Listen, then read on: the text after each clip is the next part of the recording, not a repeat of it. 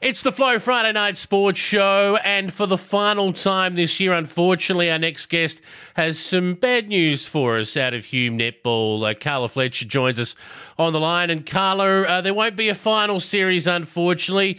Uh, you must be disappointed, but at the same time, probably relieved as well, I guess. Yeah, hi Jason, how are you? Um, yeah, look, um, the last few weeks have been really um, tough for for everybody.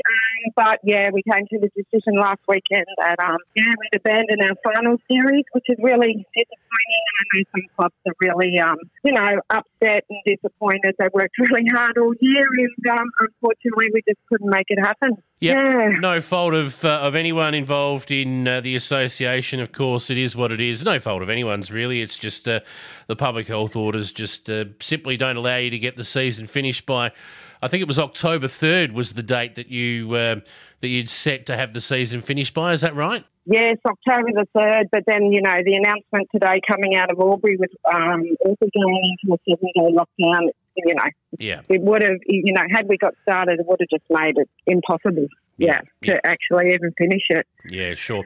Um, have have uh, the association or has the association made any decisions yet about uh, whether or not uh, there'll be trophies handed out for the year, or uh, will you declare premiers, or uh, will you null and void the? Pre- Has any of those sort of decisions been made yet? No, we haven't made any decisions, but I'm sure, um, you know, the Hume Football Netball League Board will um, gather all the clubs together and come up with an outcome. But, you know, it would be really good to um, acknowledge those best and fairest winners and club championships and, mm. you know, our rising stars because, you know, they did play and, and, you know, we got most of our games played. So, yeah, then we know what we're um, able to do.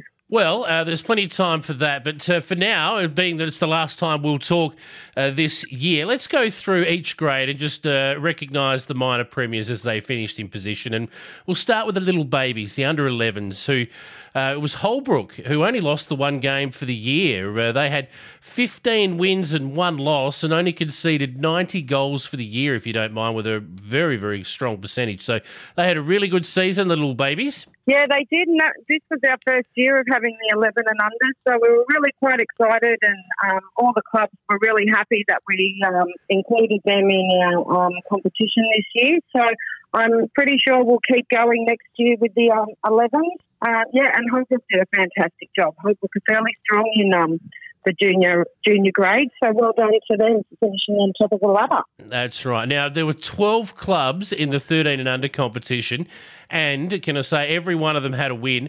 Um, Brock Burrum were undefeated for the season. I think the only undefeated team in Hume netball. So what an achievement from them. Yeah, the, the girls over at um, Brock Burrum, they're really pleased with how their um, 13s went this year, and Burrum are pretty strong in some of their junior teams as well. So I'm sure they'll be back next year.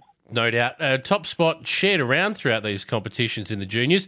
CDHBU were top of the pile in the 15 and under age bracket. They had 14 wins and two losses for the year. Everyone having at least one win and uh, everyone having a loss in this comp. It was fairly even. Yeah, I think so. Fairly even from more clubs. Um, and once again, you know, it's nice um, that all the clubs can be represented this year in the finals. We haven't had that for a while. So um, well done to CDHBU and getting their um, juniors in. Yep. In the 15th. Um, in the 17 and under, it was the Billabong Crows in the end on top, uh, only on percentage from Osborne. They both had records of 15 and 1. So the Billabong Crows claimed the minor premiership there. Uh, yeah, look, um, I think the 17th would have been an awesome final series. Um, both both teams, Crows and Osborne, um, very competitive. Um, and uh, Crows have been um, up there for the last few years as well as um, Osborne. So it, that would have been a, a, cracking game coming into the you know the second week of finals. But um, unfortunately, it's not to be. So um, mm. you know, I'm sure all those teams will be back again next year and working really hard to stay where they were this year. Uh, we'll quickly go through some of the senior grades and we'll finish with the A grade. So the C Resis, uh, we had Jindera 15 and 1, claiming the minor premiership there. It was Howlong in the C grade with a record also of 15 wins and one loss. Howlong also in the B grade, and I should also mention Osborne here. Both of them finished with a record of 15 wins, one loss for the year, and it was Howlong on percentage who claimed the minor premiership there by oh, around about 80 goals for in the end. So well done to Howlong.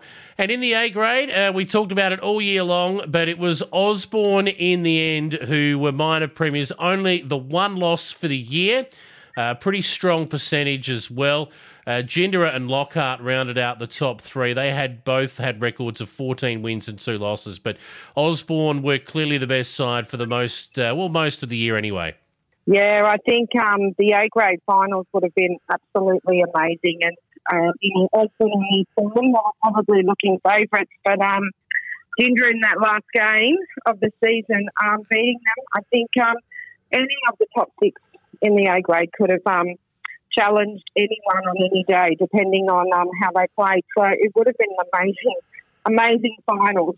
Unfortunately, we'll just um, have to wait till next year. Yeah, and I think um, all the clubs know what they've got to do and I'm sure they're all going to be back bigger and stronger next year. No doubt. Uh, hopefully, you get a chance to have a spell. Uh, it's been, uh, I know, from from management uh, in all competitions, it's been a tough season having to juggle COVID uh, regulations when you were playing, and then trying to wait to find out what's going on with lockdowns and whatnot. I hope you get a chance to put your feet up, Carla, and have a bit of a rest over the uh, the summer months because I know you and your committee have have done it hard behind the behind the scenes trying to get all this sorted. Oh, they have, and they've you know they've been fantastic. They've um, worked really hard and they've been supportive, and you know they picked you up when you needed to be picked up. Um, so a big thank you to all the committee and to all the clubs too. It's been really challenging. Been a challenging year for everybody. So um, you know, if we can get through this, we can get through um, anything and um, bring on 2022. Hear, hear, and uh, we look forward to talking more Hume netball in 2022. For now, we'll leave it there, Carla. Thanks again for all of your input into the show this year, and all the best with putting everything together for next season.